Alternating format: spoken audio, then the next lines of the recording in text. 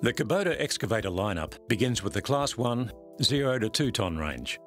Here, Kubota offer a total of three machines for you to choose from.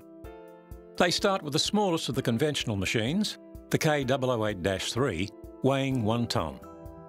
Next is the KX41-3V, weighing in at 1.7 tonne. And the third, a minimal tail swing machine, is the U17-3, weighing in at 1.7 tonne. All these machines are small enough to easily move from site to site behind your vehicle. The boom cylinder is positioned on the back side of the boom on all three models and gives the greatest digging power available.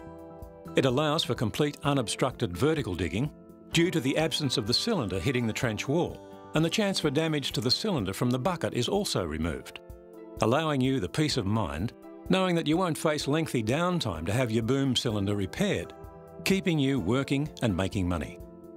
All the front cylinder hoses and auxiliary service port hoses have been routed inside the boom itself, meaning that the chance of catching and tearing off the hoses has been eliminated. The travel motor hoses are enclosed within the track frame, resulting in reduced repair costs and increased durability. All three Class 1 models feature expanding track frames, allowing you to access the tightest of locations. The K008-3 can reduce the track width to 700mm, allowing for access through an average door frame and can be expanded out to 860mm, giving you better stability for the hard jobs.